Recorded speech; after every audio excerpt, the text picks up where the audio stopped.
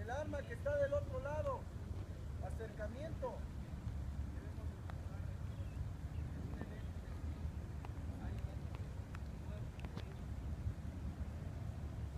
El cuerpo, ya checó el cuerpo. Ya sacó foto del cuerpo.